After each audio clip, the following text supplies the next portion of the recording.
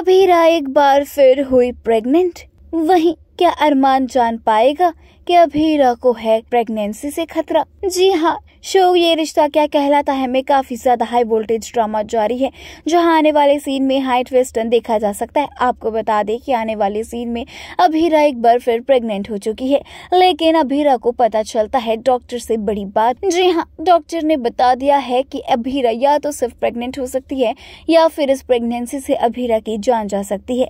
जी हाँ या तो बच्चा इस ज़िंदगी में आएगा या तो फिर अभीरा ज़िंदा रहेगी। वेल ये तो सुनकर अभीरा के पैरों तले ज़मीन खिसक गया है, जहाँ एक तरफ़ काफ़ी समय से उम्मीद कर रही थी प्रेग्नेंट होने की, और ऐसे में जब खुशियाँ मिली तो अब भगवान ने दे दिया है ज़िंदगी खत्म करने का मूड।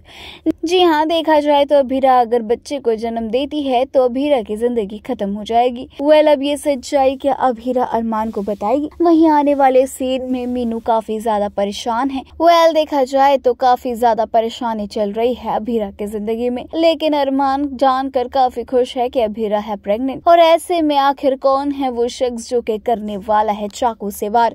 ये तो देखेंगे हम आने वाले सीन में ऐसे तमाम लेटेस्ट अपडेट्स के साथ फिर होंगे हाजिर। तब तक के लिए देखते रहिए बस्सू का।